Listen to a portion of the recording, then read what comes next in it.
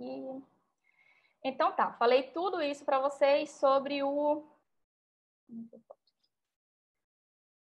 sobre o efeito agudo.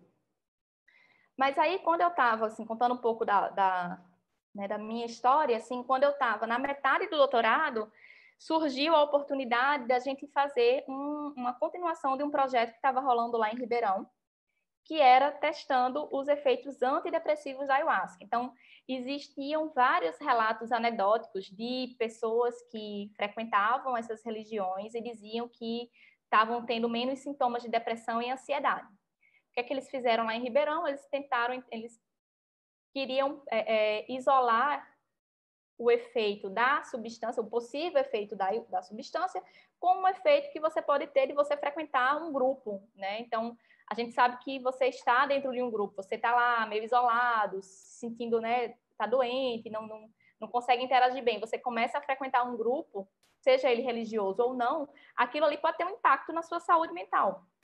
É, então, qual foi a ideia? Foi, tá, então vamos ver se num contexto, sem ser no contexto religioso, se a ayahuasca realmente tem essas propriedades é, antidepressivas. Então, lá em Ribeirão, ainda também 2010, 2008, mais ou menos, eles fizeram o primeiro estudo, pegando pacientes com depressão refratária, depressão é, é, que não respondia a tratamento convencional, e é, deram ayahuasca, todo mundo sabia o que ia tomar, os pesquisadores sabiam, os, os pacientes também sabiam, e eles encontraram os efeitos, assim, muito é, é, surpreendentes, assim. Então, as pessoas melhoravam já no primeiro dia que tomavam ayahuasca, e esse efeito, esse, essa, esse benefício, ele durava três semanas. E aí, quando eu estava no doutorado, a gente resolveu fazer aqui um, a segunda parte, assim, o, o, passo seguinte desse estudo, que seria o quê? Seria a gente fazer um estudo, é, um ensaio clínico duplo cego, randomizado, placebo controlado. É, por, que, por que fazer esse tipo de estudo? Né? É, esse estudo, agora todo mundo deve estar escutando falar nisso o tempo todo, né, com essa coisa da Covid das, das vacinas e tal, é o padrão ouro de um teste clínico, né? Então, para uma medicação ela ser sair da, da, da, do desenvolvimento e ela passar a ser, passar a ser utilizada né, na clínica, ela precisa passar por esses testes, né, duplo cego. Quer dizer o quê, duplo cego? Quer dizer que nem o pesquisador, nem o paciente, ele sabe qual é a substância que ele vai tomar, né? É, você pega um grupo de pacientes, então, e você é, distribui eles nos seus dois grupos, no grupo tratamento e no grupo placebo, de maneira é, aleatória, então por isso ele é randomizado. E uma dessas substâncias é um placebo, ou seja, é uma substância que você não espera que tenha nenhum efeito. Então, no nosso caso, era uma substância que não tinha um efeito psicoativo.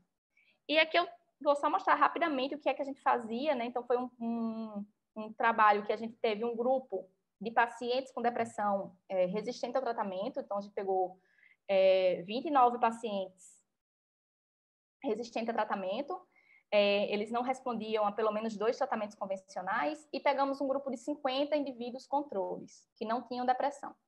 E aí eles iam lá, eles vinham aqui, foi tudo feito no hospital universitário e eles eram submetidos a essa sessão experimental que durava quatro dias. Né? Então eles iam, chegavam lá no primeiro dia, normalmente na terça tarde, eles preenchiam, o, o, psiquiatra avaliava, depois passava por testes neuropsicológicos, a gente fazia as aquisições de imagem, então, tanto a, a anatômica como funcional. Né? Nesse, na, na, funcional, a gente teve um protocolo de tarefa, que foi uma tarefa emocional, que eu não vou falar aqui, e teve um protocolo de resting state, e eles dormiam lá enquanto a gente fazia um EEG, durante o sono, uma polissonografia. No dia seguinte, a gente coletava sangue, saliva, é, e mais ou menos umas 10 horas da manhã ele ia receber ou a ayahuasca ou o placebo. A gente ficava lá acompanhando esses, esses voluntários, né, esses, o paciente ou o voluntário controle, durante o dia e mais ou menos umas 4, 5 da tarde eles eram liberados a irem para casa. Depois eles dormiam em casa, então, nesse segundo dia. Terceiro dia eles voltavam e a gente repetia a mesma bateria de exames né, que tinha feito no, no basal. Então, de novo, coletávamos aqui o dado de ressonância, ele dormia, sangue, saliva e as escalas. Depois, só os pacientes, a gente pediu para eles voltarem com uma semana, com 14 dias e uma vez por mês, né, até seis meses. É, então, desse trabalho aqui, é, o, só contando um pouquinho para vocês, o achado principal foi que a gente viu um efeito antidepressivo importante, né, da, da ayahuasca.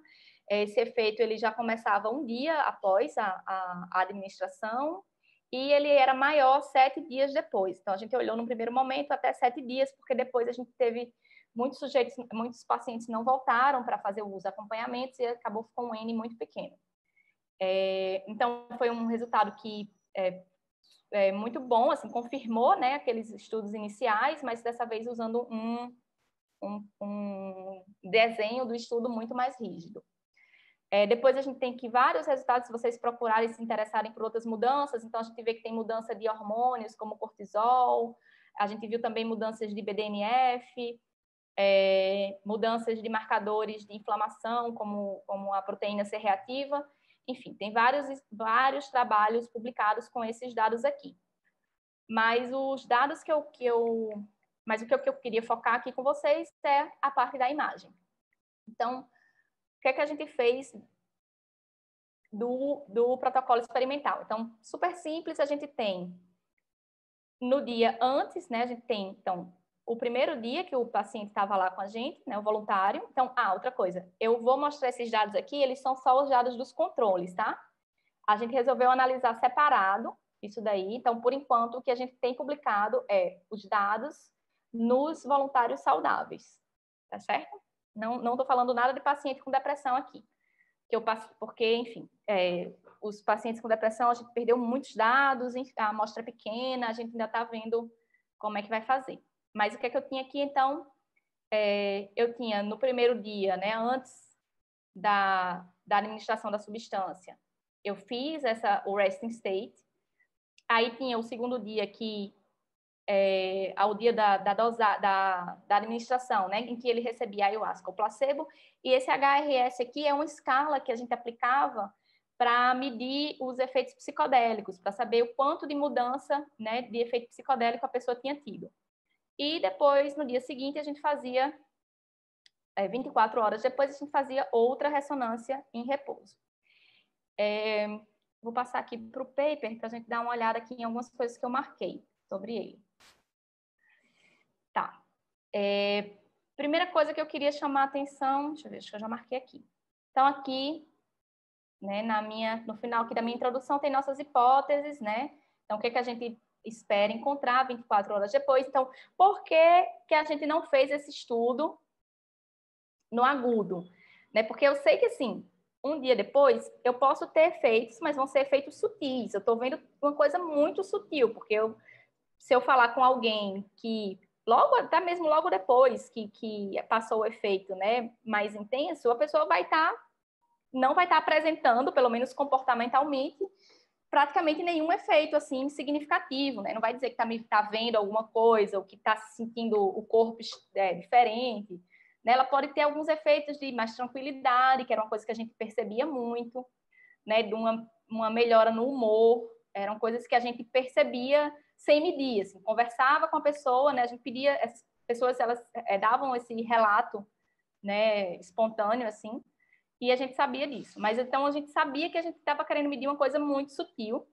Mas de novo, pensa na dificuldade da gente colocar essa pessoa na máquina. Ah, uma coisa que eu não falei é que diferente do outro trabalho, é, esse trabalho aqui ele foi feito só com pessoas que nunca tinham tomado ayahuasca. Então, lembrando lá no meu exemplo de novo que eu, da, coisa que eu falei do surf, então essas pessoas elas não sabiam surfar. E elas não sabiam surfar mesmo, porque a maioria delas nunca tinha provado nenhum psicodélico. Então, assim, se você. Beleza, tá? Eu não sei surfar com prancha de bico, mas eu já fiz aqui um long. Então, eu vou saber mais ou menos o que é que eu tenho que fazer. Mas essas pessoas aqui, era assim, não sabiam. E por que, que a gente fez assim? Porque a gente precisava ter placebo. E para quem já teve experiência com ayahuasca ou com algum outro psicodélico, sabe que são é uma experiência difícil de você é, enganar, esconder, assim, né? Você dizer que, ah, tomei e não sei que tomei. Claro que pode acontecer, mas é difícil. Além disso, a ayahuasca ela tem um gosto e, e um cheiro muito característico. Então, se você alguma vez na vida tomou, bebeu ayahuasca, é muito difícil enganar que você não, sim, lhe dar uma coisa e dizer, ah, bebe aí que é ayahuasca. É super difícil. Ou de você acreditar que não é ayahuasca também. Então, um, um, para que o nosso placebo funcionasse, né, a gente pensou em pegar apenas pessoas que nunca tinham bebido ayahuasca. Então, isso aí fazia com que fosse realmente um desafio muito grande você colocar essas pessoas dentro da máquina durante o efeito.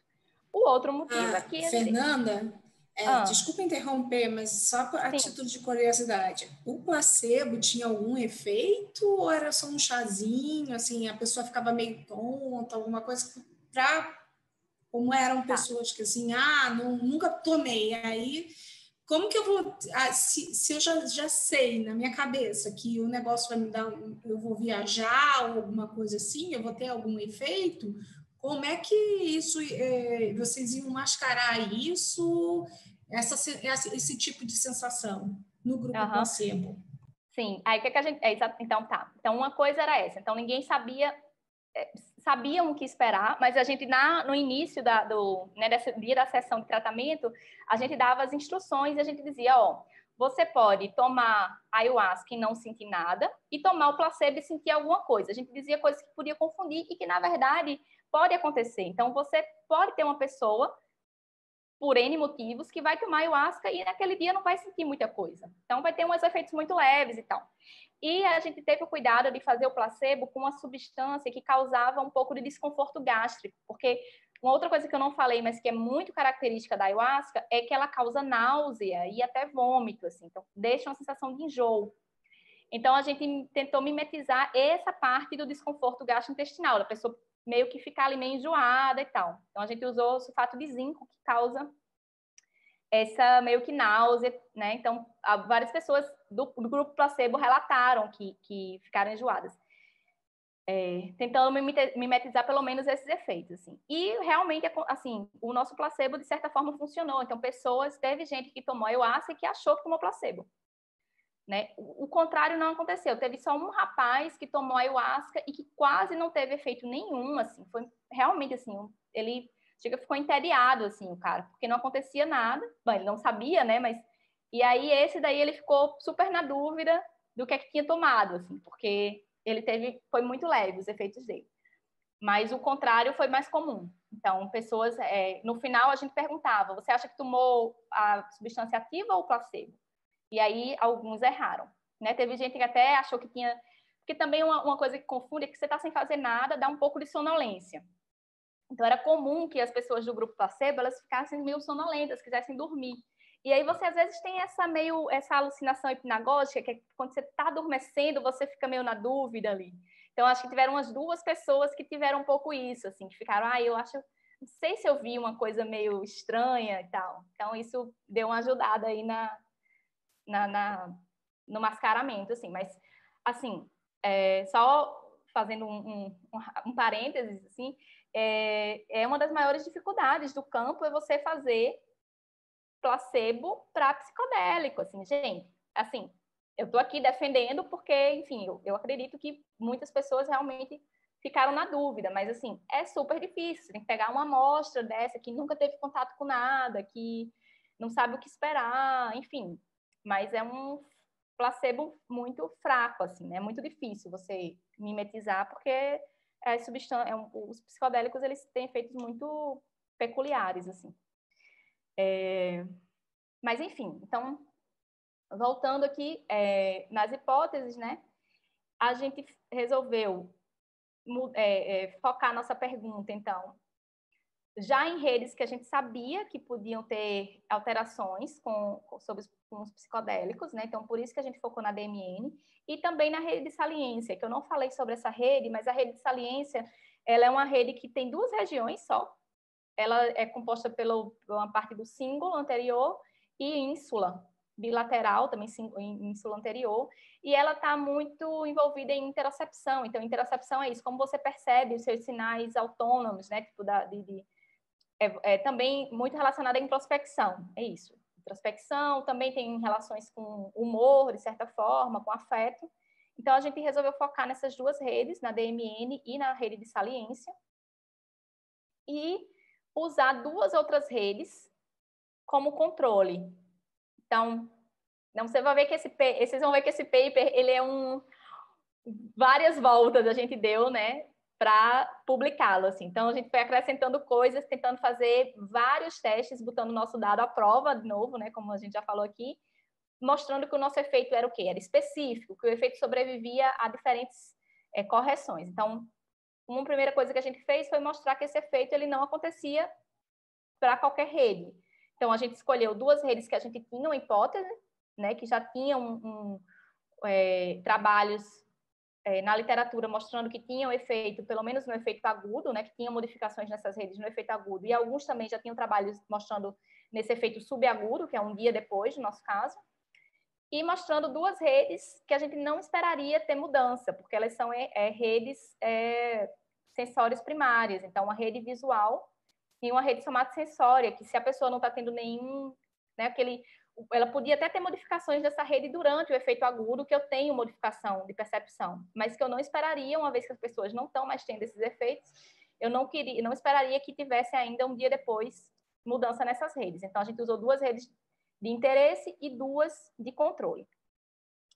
E a gente escolheu usar um, de novo, um método né, baseado em conectividade de, de seeds para é, comparar essas redes, né, comparar entre né, quem tomou placebo e quem tomou ayahuasca, um dia depois da sessão. Aí a gente fez isso, né? Metade do grupo recebeu o ayahuasca, outra metade recebeu o placebo.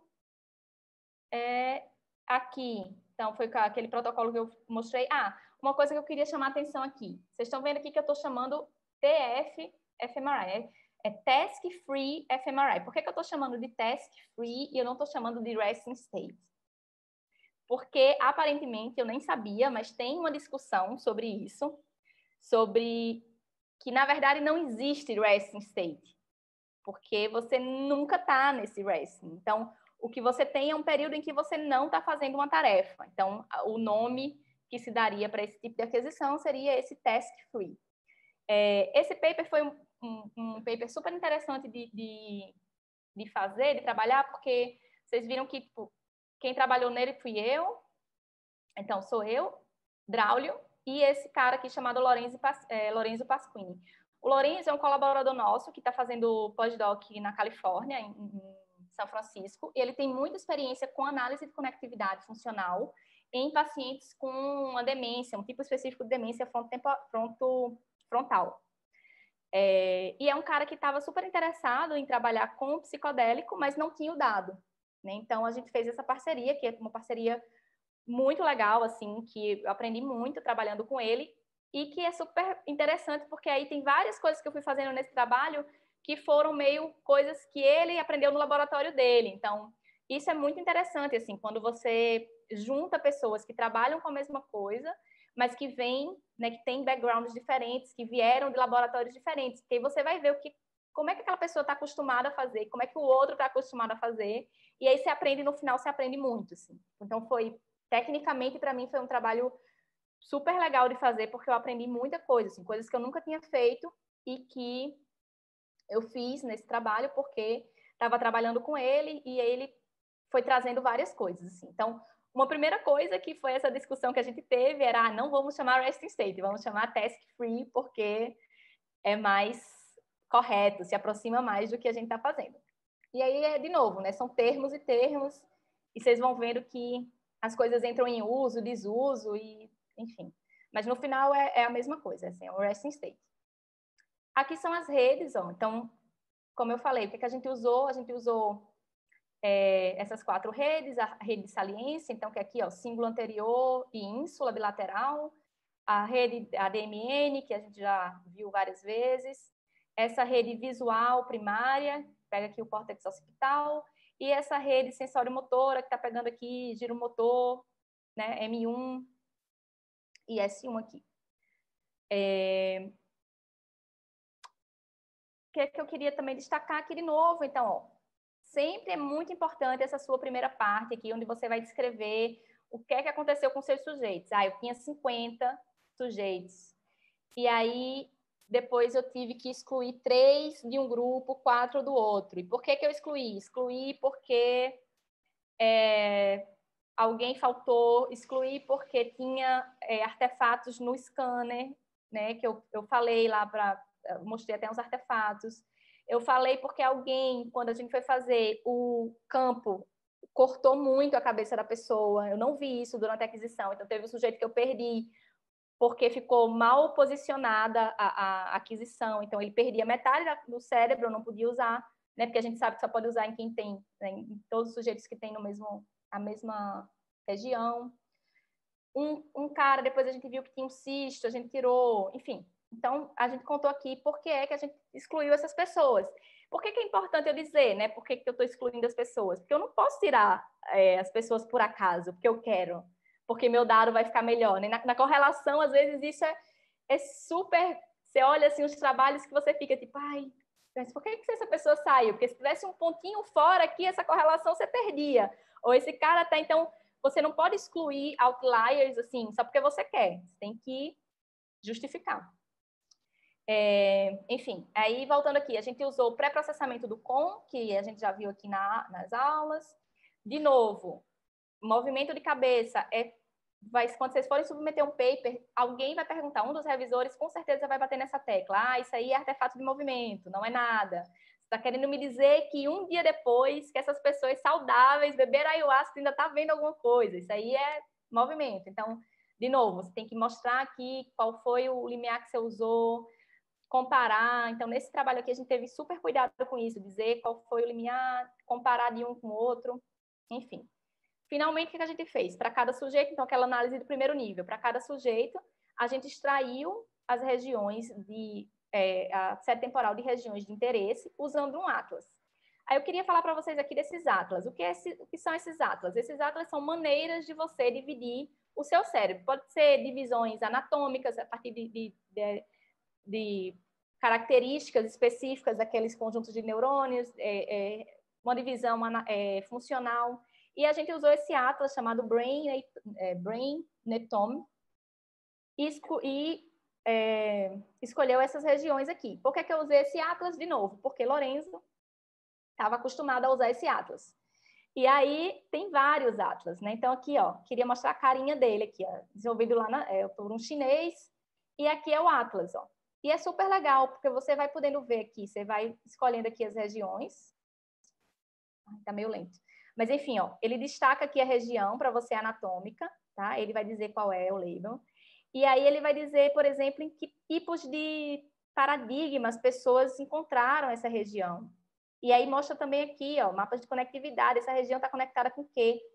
Então, assim, é super legal para você dar uma olhada. Ah, ah, eu quero trabalhar com é, DMN, então eu vou escolher aqui uma região do precúnios. Vamos ver eu acho aqui. Ah, que precúnios. Ah, será que precúnios ele está relacionado com o que eu quero, essa região, ou melhor outra? Enfim, então é super legal, assim, de vocês olharem essas, essas parcelas.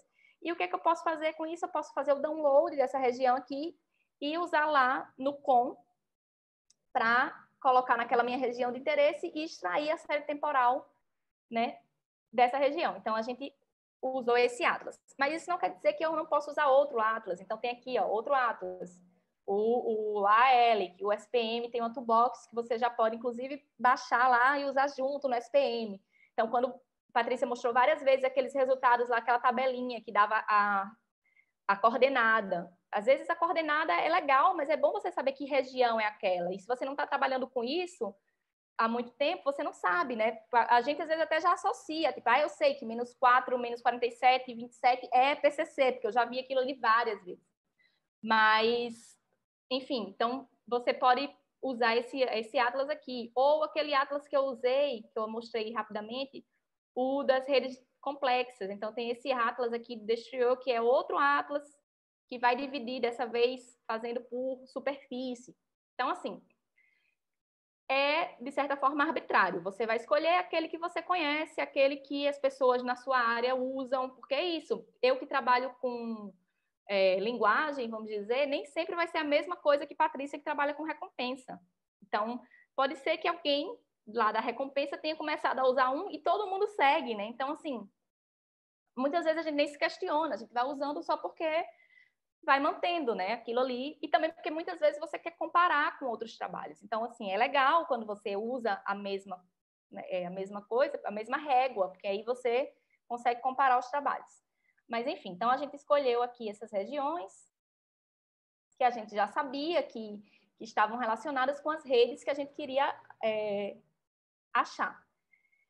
É, e aí a gente fez esse método, né? Então a gente foi lá e olhou a as correlações e teve esses mapas de esses mapas das redes, como eu mostrei aqui. Então, esses mapas foram os mapas que eu comparei. Eu fiz essa, criei máscaras com esses mapas para a gente olhar depois na comparação antes e depois dos sujeitos. Ah, eu queria voltar agora aqui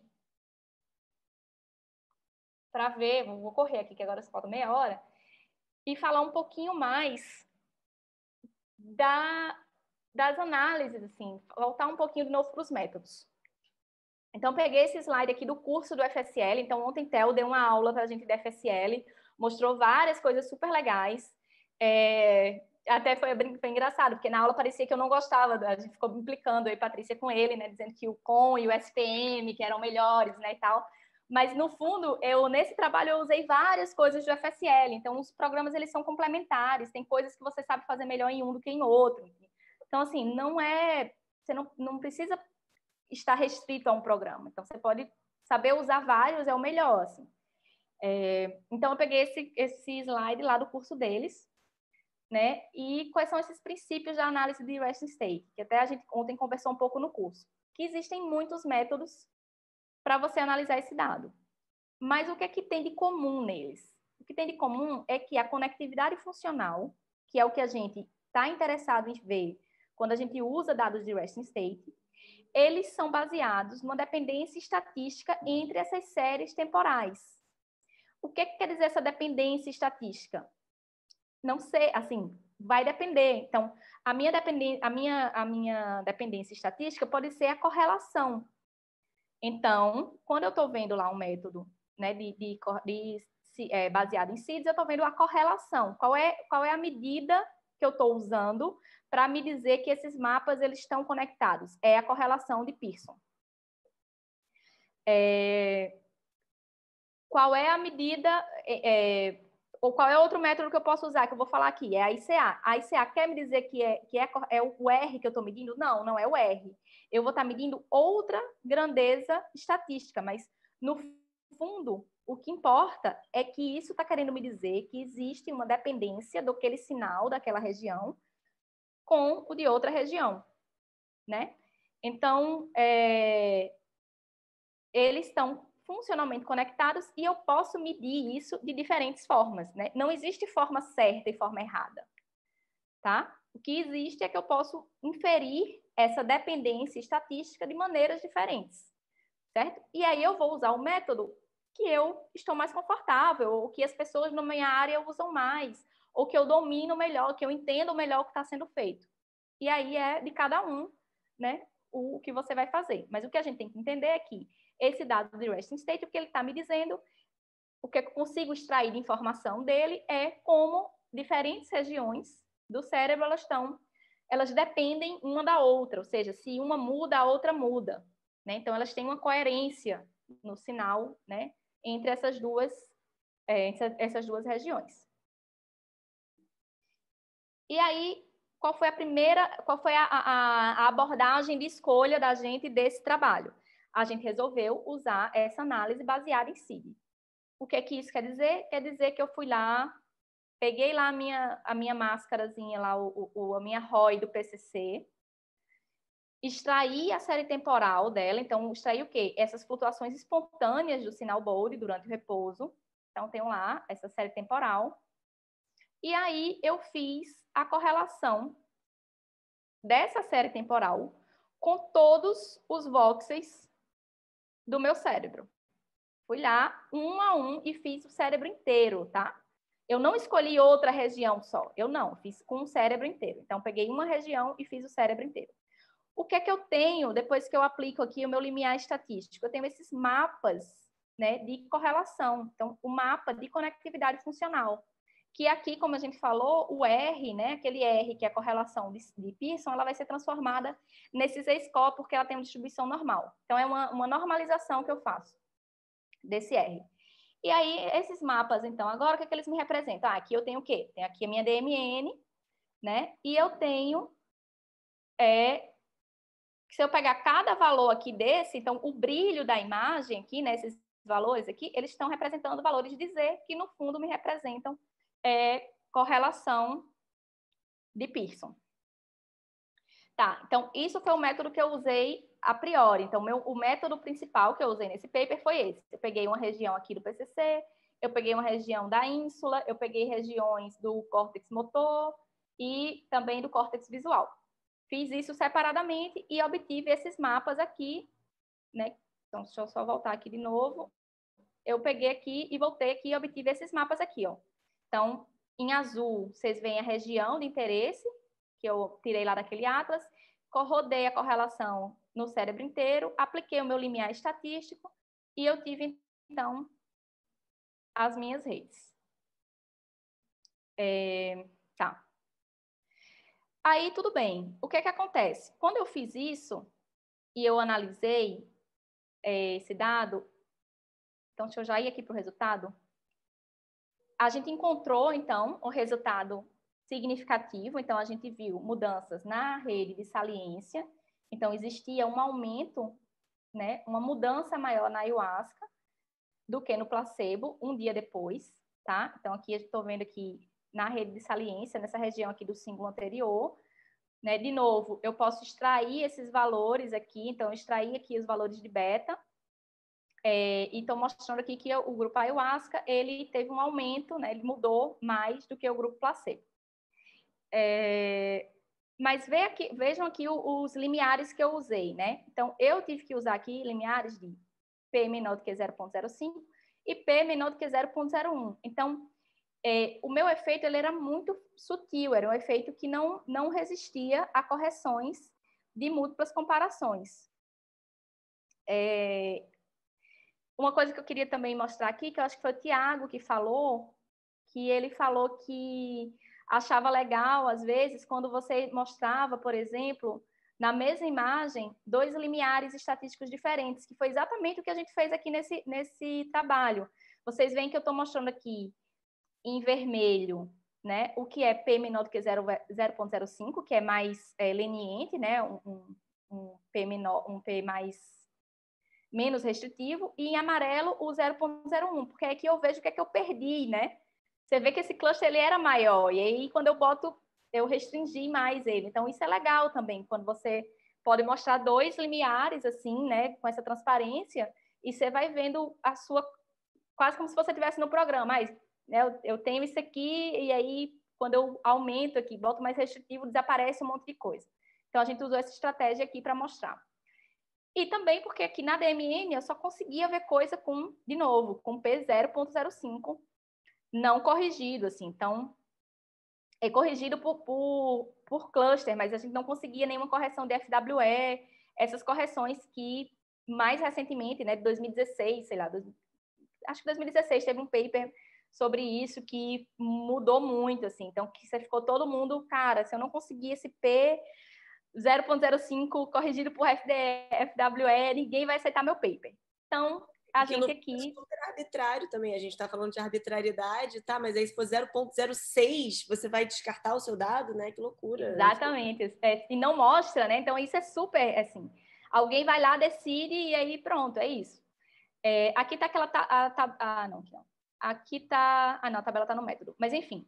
Então, a gente teve esse space assim, super é, baixos, né? E ficamos tipo, meu Deus, o que, que a gente vai fazer para tentar fortalecer o nosso paper? Porque a gente acreditava que era real o efeito. Tem isso também. Então, se você acredita, se você tem uma hipótese, se você acredita que aquilo ali pode mesmo estar tá acontecendo, então, tá, então vamos tentar mostrar isso de outras formas. Como é que a gente poderia também tentar abordar isso de outra forma para ver se o resultado ele sobrevive a um outro método? Então, o que, é que a gente fez? a gente resolveu aqui, ó, replicar essa análise usando ICA, tá? E aí eu vou tentar falar aqui, tentar mostrar um pouquinho o que seria essa ICA. Ela, tá? Que é outro método que a gente pode usar para fazer análise de resting state. Pensem comigo o seguinte, a ICA ela é um método utilizado para você tentar separar sinais, identificar da onde estão vindo aqueles sinais. Então, tem um problema que é super conhecido, que é, é o seguinte, vocês imaginam que a gente está fazendo uma festa pós-corona, todo mundo do curso resolveu se juntar agora, presencialmente, finalmente. E aí, eu tenho uma festa, sei lá, com 20 pessoas, aqui, tem uma festa aqui com, com algumas 20 pessoas, e eu coloco microfones dentro de, do bar lá que a gente tá.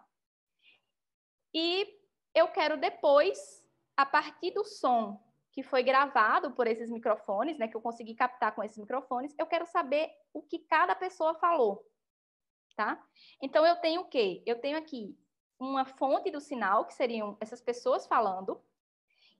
Eu tenho um microfone separado, vamos dizer que eles estão eles estão espacialmente separados, tá? Esses microfones, eles estão existe uma separação espacial deles, vamos dizer que eu botei cada um num canto da sala. Esse sinal que eles vai gravar, ele vai gravar um sinal que é misturado, porque quando eu estou conversando com uma pessoa, eu tenho vários sons, além disso eu tenho um som ambiente, então ele vai estar tá captando um monte de som, de ruído também, aquilo ali. E o que é que eu vou fazer? Eu quero aplicar um método que sem eu saber nada sobre esse sinal, eu não sei nada sobre ele, eu quero separar ele. Então, é para isso que a ICA serve. Então, a ICA ela é um método de separação de sinal multivariado. Então, o sinal está variando, tem, tem várias fontes né, daquele que estão contribuindo para formar aquele sinal.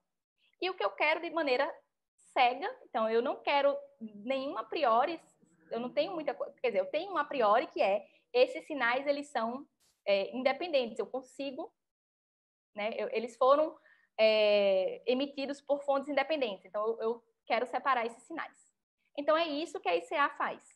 A ICA é um método computacional que vai tentar é, separar esses sinais em componentes independentes. De maneira que, quando eu junte essas componentes, eu tenha aquele meu sinal lá misturado de volta. E que cada componente desse, ele é matematicamente independente do outro. Né? Então, eles seriam responsáveis por essas fontes independentes. Então, aqui a gente vê que tem aqui a pessoa vermelha, a azul e a verde. Tem vários microfones aqui que estão gravando esse sinal. Eles são misturados e, no final, eu passo por essa caixinha aqui, que é a ICA, e eu consigo recuperar aqui o que a pessoa vermelha falou, o azul e a verde. Certo? Então, isso aqui é aplicado nesse problema, é um problema super conhecido, tem até um, vocês procurarem na internet, tem lá o nome específico lá, o problema da festa do, do, do coquetel, enfim, tem um, um, problema lá. E a ICA é aplicada, por exemplo, nesse caso, para resolver esse problema de separação de fontes. É... E aí, o que, que eu vou fazer com a ressonância? Eu tenho aqui o meu cérebro, que é dividido em voxels, que a gente já viu que é esse menor elemento lá da imagem. E esse dado, ele é um dado que varia no tempo e no espaço. O que ele varia no espaço? Eu tenho minha fatia, que tem uma organização espacial. Eu posso ver aquele, aqueles voxelzinhos como sendo fontes né, do, do meu sinal. Eu tenho que aquela, aquele voxel ele vai ter uma localização no espaço, que é fixa, e ele vai mudando ao longo do tempo, que eu estou adquirindo uma imagem em vários volumes. Tá? O que é que eu quero? Eu quero, então, identificar espacialmente é, componentes espaciais. O que é que, ao longo do tempo, é espacialmente independente. Certo? Então, essas componentes, elas são componentes espaciais. Por isso que ela me dá esses mapas, né, dessas regiões que, ao longo do tempo, elas estão juntas, tá? Então, são mapas espaciais que variam ao longo do tempo, mas eles variam junta, de, de maneira conjunta. Então, é isso que eu vou fazer aqui. Eu vou pegar ó, as séries temporais, lá, né, no tempo, que são as minhas componentes, e eu trago ela para os meus mapas espaciais. Então, é isso, eu vou ter as componentes, e cada componente dessa, ela vai me dar um mapa espacial. Tá? Então, é uma outra maneira que eu tenho. Então, aqui eu não estou vendo correlação, certo? Então, a grandeza matemática que eu estou medindo, né? a grandeza lá, estatística, não é a correlação, é esse modelo de ICA, tá? é, uma, é uma outra forma matemática que vai separar o meu sinal nessas redes. Então, a gente resolveu analisar usando esse outro método. Tudo isso por quê? Para contornar esse meu problema de, assim, de certa forma, para é, mostrar a robustez do meu dado. É... E o beta que vocês tiram para cada ICA dessas seria o de componente. Seria o fit dos componentes. O fit do componente. Com é, o espaço, no... tipo, o componente no... do tempo. Porque no fundo, o que ele faz para estimar isso, ele tem essas componentes independentes e ele estima um beta também. Ele faz um ajuste dessa componente ao longo do tempo. Então, tipo, no fundo é beta também que ele está vendo. Assim, a medida que ele está usando aqui é como se ele fizesse um, o GL, não é o GLM, mas assim, é, é como se fosse, é beta também. Então, ele não está vendo correlação. Ele está vendo como essa componente, esse modelo dessa componente espacial, ela vai ao longo do tempo. Mas aí seria um, um, porque o beta eu entendo que é tipo, tá, uma regressão lá mais ou menos, né? Que a ideia é que você tenta colocar uma coisa na outra, o quanto um explica a outra. O que seria o beta do ICA? Seria o quanto esse componente explica a distribuição espacial do sinal? Do dado, do sinal. Ah, tá. Eu acho que é tá, exatamente isso. O quanto ele tá. explica a distribuição espacial do sinal, é. Tá, exatamente. Beleza. Assim, assim que eu entendi também. É porque é isso, assim, no final a matemática é enrolada, mas eu entendo assim também. Tá? E é por isso que você tem betas, porque é isso que ele usa no, no matematicamente, assim. É, aí existem várias ferramentas para você fazer isso. Aí, de novo, aqui, eu acabei usando essa toolbox do MATLAB, que chama GIFT, porque o meu colega lá usava, né? Então, era a ferramenta que ele estava familiarizado. Eu nunca tinha rodado análise de CA, então beleza, era ótimo ter alguém que, é, é, sabia usar, porque aí já me ajuda, né? Ajuda muito quando você tem alguém que sabe usar o, o a toolbox. É, mas tem o, o, o, FSL, que tem o Melody, que é super bem documentado, o Theo falou bastante ontem sobre ele, e que vai fazer a mesma coisa. Então, tá aqui para vocês esses dois que eu assim, que eu conheço. E aí, foi uma, um, ontem eu, eu tentei é, trazer uma questão para a Theo, que é o seguinte: você, é, quem gosta de CA, defende que a CA é legal porque você não tem nenhuma hipótese a priori, você não está dizendo para o seu dado que você quer que o PCC correlacione com o símbolo anterior. Você não está me dizendo isso, né? Eu estou deixando o dado decidir. Então, o dado, eu vou, não tenho nenhuma a priori sobre o dado, hipótese a priori. Mas eu tenho números que são arbitrários. Então, em quantas componentes eu vou dividir meu dado?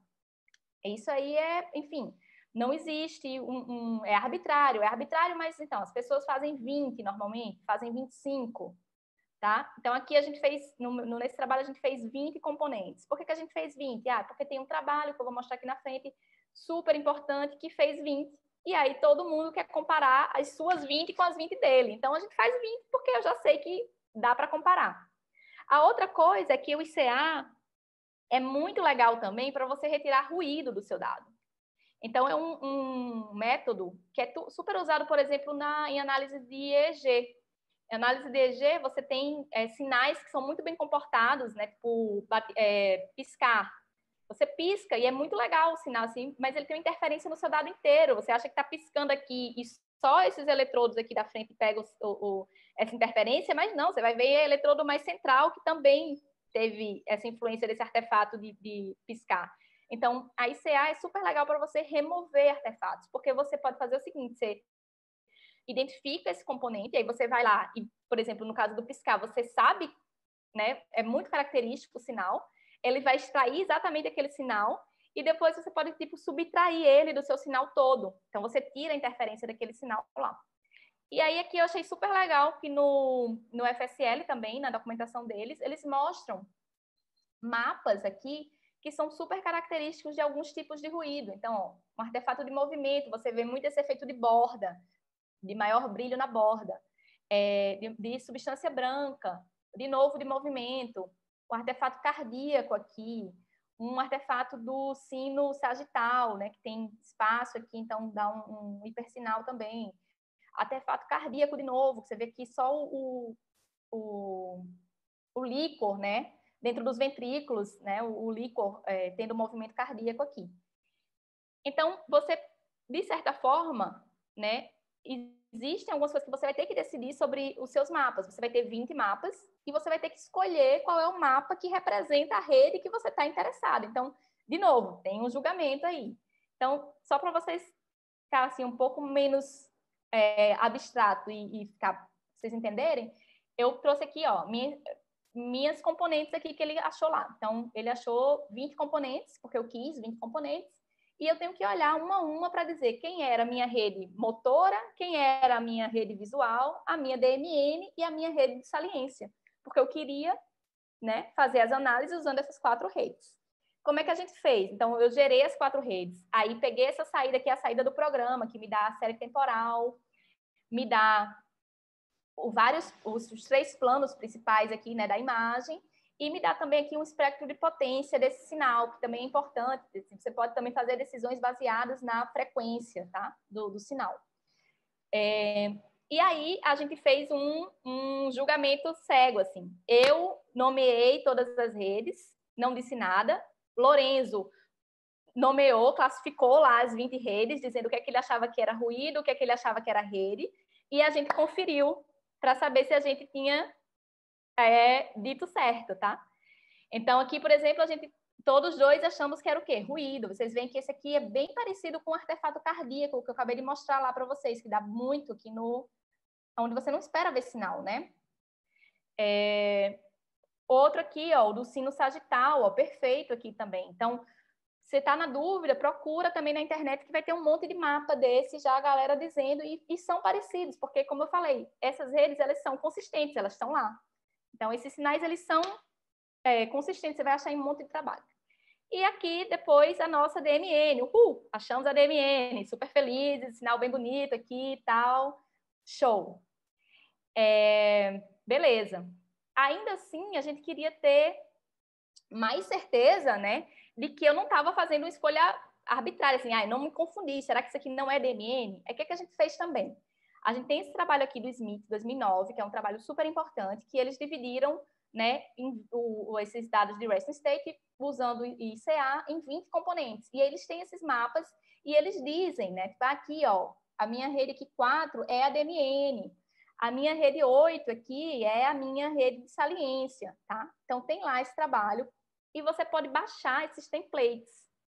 Então, você baixa isso. Inclusive, ontem também, Tel mostrou que o FSL usa esses templates de alguma maneira automática para lhe dizer o quanto o seu template ele se parece com o mapa que você achou, para você ter confiança de que aquilo ali é mesmo o mapa da, da DMN.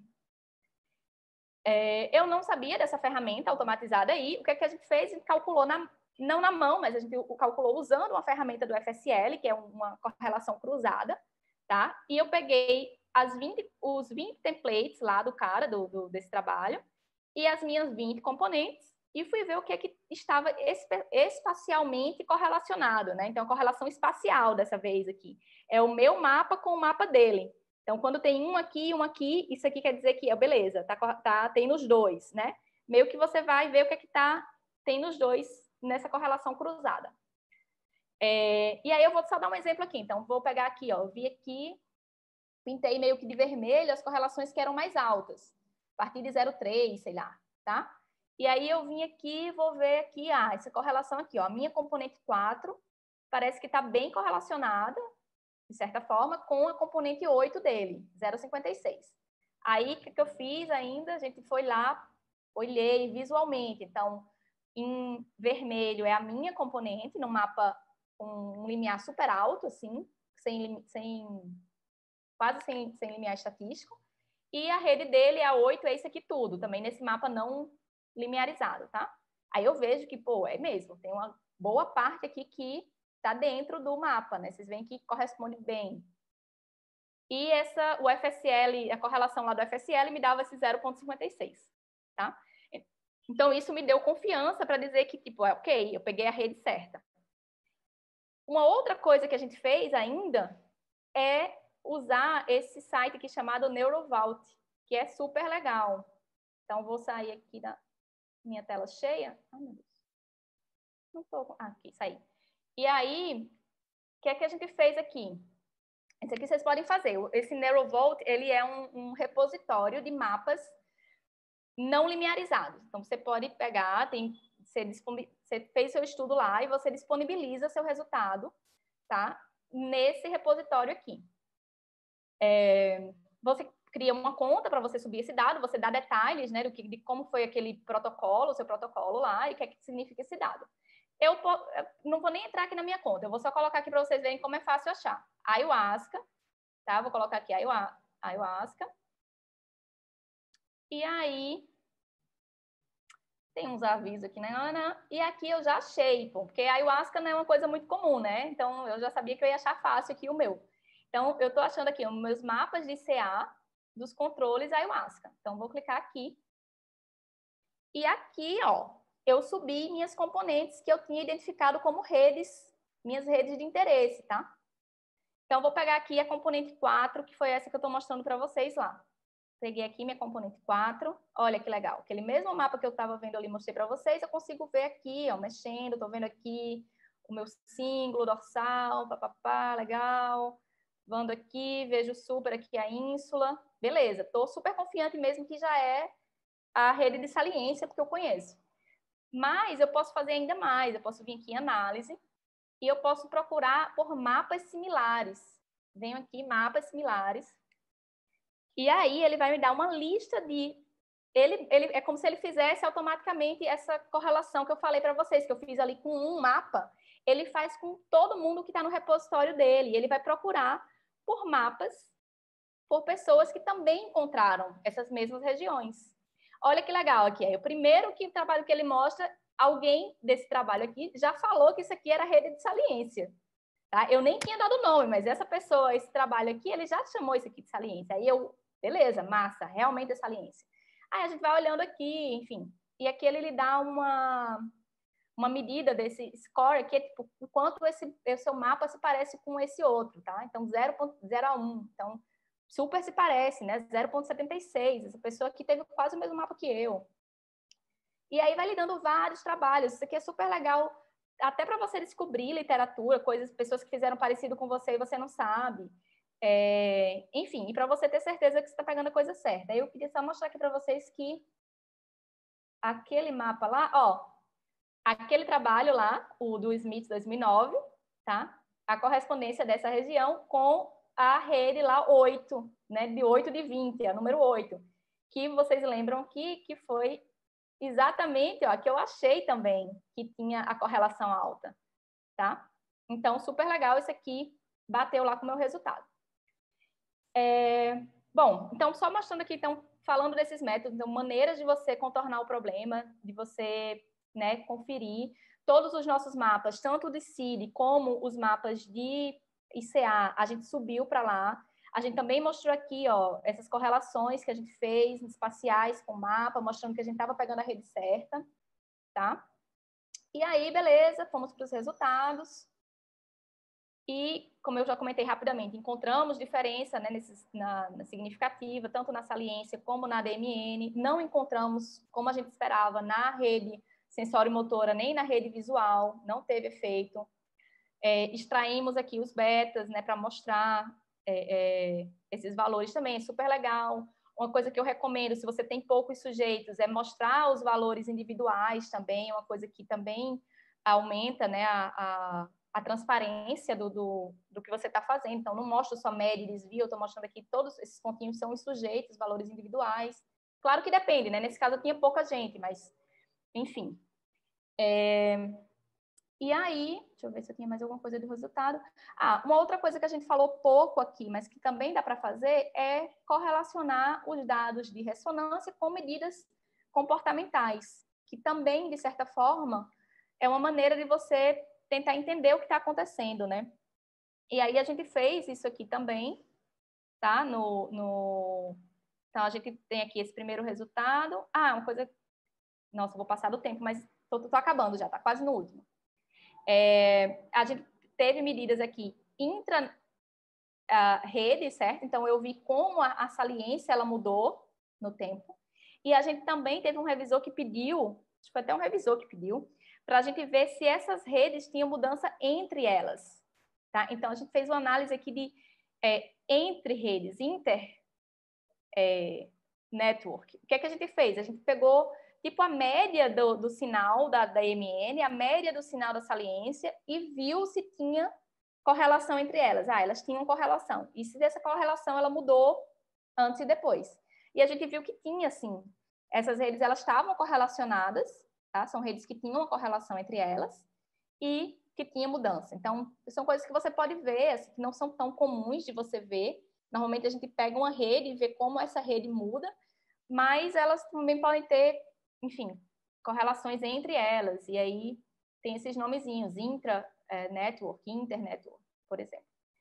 E a outra coisa que a gente fez foi que a gente tinha uma medida do efeito agudo, tá? Então, é meio é, enfim, pode ter é, é, diferentes. É, você pode acreditar ou não, assim, pode ser é, é, mais ou menos robusto. Você imaginar que você teve uma mudança num dia e que você está vendo uma coisa no outro dia, mas a gente queria ver se será que tem uma influência do que acontece durante a sessão experimental, como que a gente está vendo né, de mudança nessa rede. E aí a gente fez essa, pegou essas, essa, esse questionário que a gente tem aplicado, essa HRS, que é Hallucinogenic Rate Scale, e a gente viu que alguns fatores dessa escala, então como por exemplo aqui a somestesia, então as mudanças meio de corpo que você sente, elas estavam correlacionadas só no grupo ayahuasca, tá? Com essas mudanças da rede de saliência. Uma coisa que Patrícia comentou aqui, então quando você tem grupos submetidos a tratamentos diferentes, ou um grupo controle e um grupo que é é, é, um grupo controle e um grupo com algum transtorno, você não faz a correlação com todo mundo junto, porque é, a, a, esses grupos já vão se separar por si só. Então, às vezes, você encontra uma correlação, mas é uma correlação artefatual, porque os grupos são diferentes. Assim. Então, você faz separadamente. E a gente viu aqui que só teve correlação, tá? Para um grupo ayahuasca, não teve para o placebo.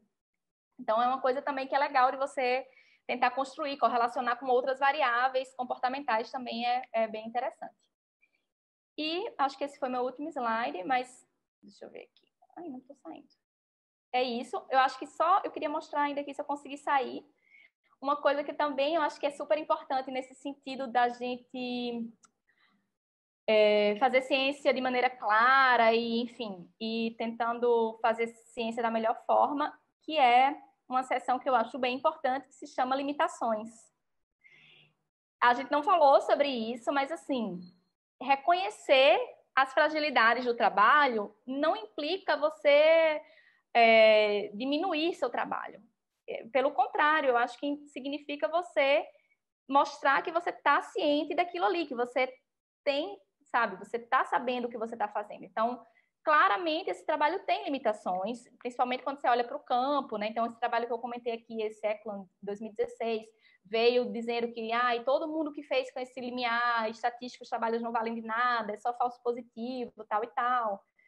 Um monte de crítica, né, com essa parte estatística que no final das contas, cara, se você, é o que você acabou de falar, se você for tão restrito na estatística, você perde talvez coisas que são reais assim, mas que por conta dessa um 0,5 em vez de 0,6 você deixou de ver.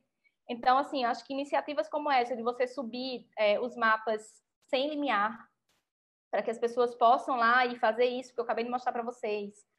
É, fazer isso que a gente fez aqui, usando métodos diferentes, tá? Uma coisa que eu nem falei ainda, mas é que além de fazer essa coisa do ICA, a gente ainda fez, rodou o dado, colocando os, é, o movimento como um, uma covariável, para ver se quando você colocava o movimento, aquilo ali explicava o seu dado, mas é, não explicou, então realmente não parecia ser que o movimento estava influenciando, então foi um, uma outra análise aqui que a gente fez, incluindo os movimentos de cabeça como confundidor também.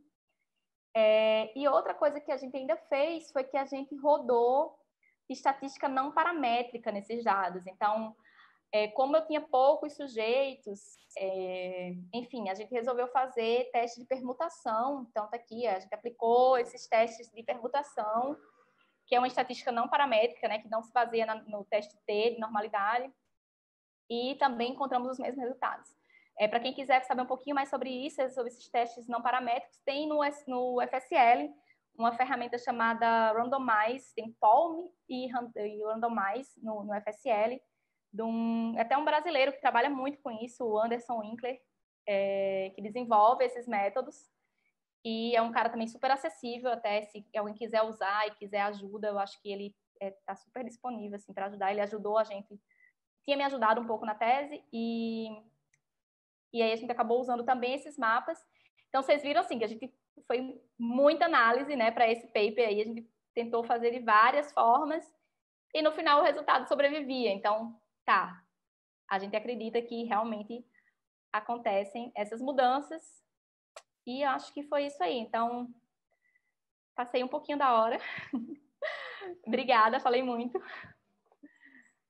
Achei que não ia dar as coisas. Ontem comecei a ficar, tipo, ontem de noite, eu disse, meu Deus, só tenho 30 slides, vou... Cara, vai acabar super cedo. Fernanda, muito obrigada, foi ótimo. Amanhã voou, na verdade. É, quando eu olhei assim, caramba, já são 11 e pouco, e agora, tipo, meu Deus, meio-dia e sete, tipo, foi ótima a sua aula, muito obrigada. É, o Anderson deu o curso do ano passado é, com a gente na URGS.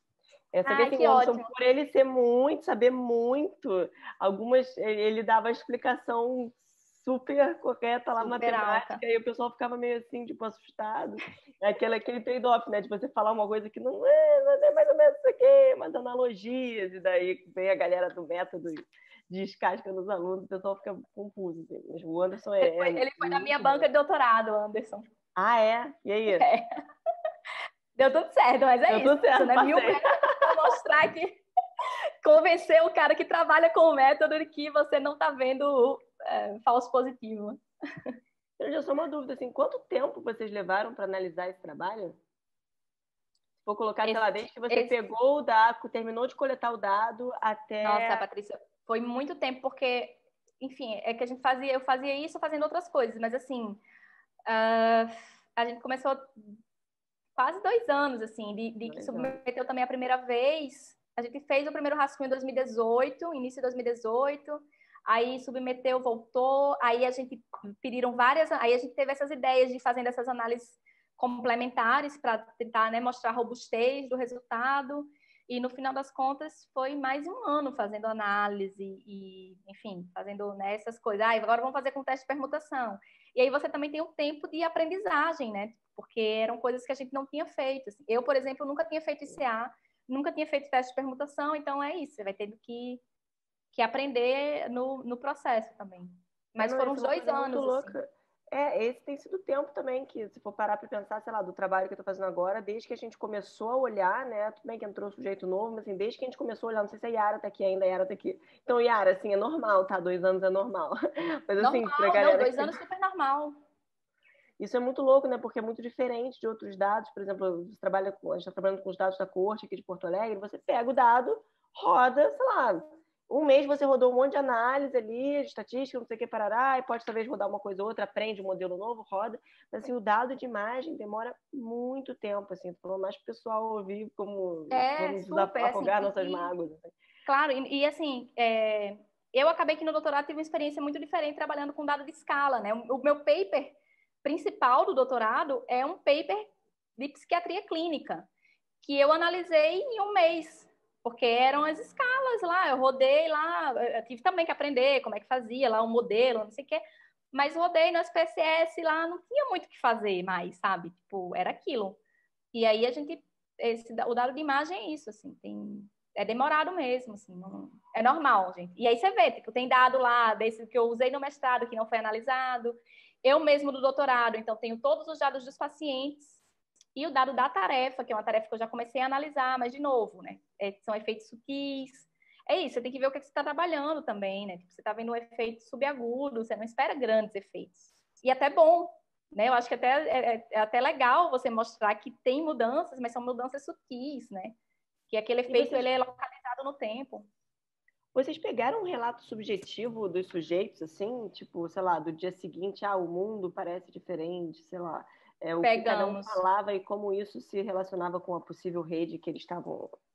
É, não, a gente não tem essa medida de como se relacionava, mas a gente tem os dados, é, tem esse dado relato subjetivo. A gente tem um relato subjetivo do dia da sessão, logo, então logo após a pessoa, a gente pedia para ela contar livremente o que tinha acontecido, e a gente pedia de novo na sexta, no último, né, no, no tipo um dia depois mesmo, quando ela dormiu de novo, acordando lá no hospital, a gente pedia para ela definir o que ela estava sentindo. A gente dizia até umas palavras. Então, as palavras que apareciam mais era essa: tranquilidade, é, calma, uma sensação de bem-estar. Tinha esses relatos. A gente não fez nenhuma correlação com isso.